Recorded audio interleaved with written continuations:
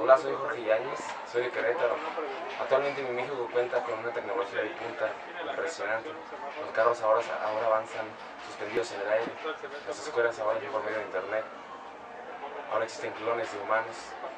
Ahora podemos hacer cosas desde nuestro hogar con los robots que existen. Nuestro México del futuro.